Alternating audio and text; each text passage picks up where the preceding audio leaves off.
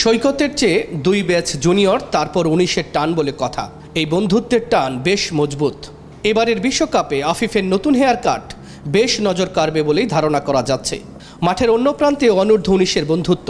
ওরা তিনজন দুই হাজার দশ সাল থেকে একসাথে। মোস্তাফিজ মিরাজের তুলনায় নাজমুল শান্ত এখনও ক্রিকেট ভক্তদের ভালোবাসার বাইরে। এই যে যাদেরকে দেখলেন এর মধ্যে আফিফ ছাড়া এই মুহূর্তে সবাই ফর্ম হারিয়ে ভুগছে। সৈকত কিছুটা ওভারকাম করতে পারলেও বাকি দুজনকে নিয়ে ভক্তদের তুলোধুনা চলছেই। কে কীভাবে চলাফেরা করছে, কার কি মনের মধ্যে চলছে, সেটি মাঠের বাইরে থেকে খুব ভালো করে দেখলে বোঝা যায়। সারাক্ষণ যেটি ফলো করেছি, অন্যান্য ক্রিকেটারদের মনের যে আনন্দ, সেটি তো ছিল, কিন্তু মুস্তাফিজ, তার হাঁটা চলায় আনন্দ ছিল, দুষ্টামি ছিল, কিন্তু কোথাও একটা টেনশন রয়ে গেছে।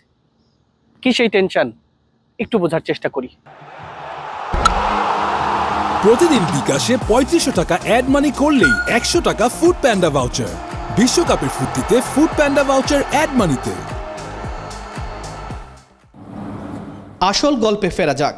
বৃহস্পতিবার ব্রিসবেনে সকাল দশটা থেকে টানা তিন ঘণ্টার অনুশীলন। হাসান মাহমুদ, ইবাদত, তাসকিন, এমনকি সৌম্য সরকারকেও বল হাতে দেখা গেছে অন্তত এক ঘণ্টা। বুদ্ধি, পরামর্শ, কোচের সাথে আলোচনা তো ছিলই। ব্যতিক্রম কেবল মুস্তাফিজ। তিন ঘণ্টার অনুশীলনে মোস্তা বল করেছেন বড়জোর দুই থেকে তিন ওভার।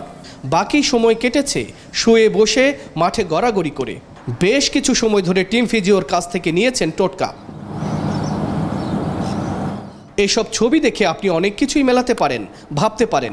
কিন্তু টাইগারদের নতুন টেকনিক্যাল কনসালটেন্ট শ্রীধরনের টিম তৈরির ধরন বেশ আলাদা। আগে থেকে আজ করা যাচ্ছে না। তিনি ঘটা করেই বলছেন টি টোয়েন্টিতে ফিক্স ইলেভেন বলতে কিছুই নেই। পরিস্থিতি বিবেচনায় হবে মাঠের দল। তারপরও মোস্তাকে নিয়ে একটা কিছু যে চলছে, সেটা বোঝা যাচ্ছে দুই পক্ষের চলনে বলনে মোস্তাফিজকে নিয়ে কে কি চিন্তা করে, সেই নিয়ে মোস্তাফিজ যদি নিজেই চিন্তায় পড়ে যান, সেটাই বিপদের। কারণ চাপ শুধু চাপই বাড়ায়।